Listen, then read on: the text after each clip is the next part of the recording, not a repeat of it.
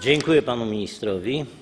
Kolejne pytania zgłosili posłowie Stanisław Lamczyk i pani poseł Krystyna Kłosin w sprawie zdjęcia z Polski procedury nadmiernego deficytu kierowane do ministra finansów.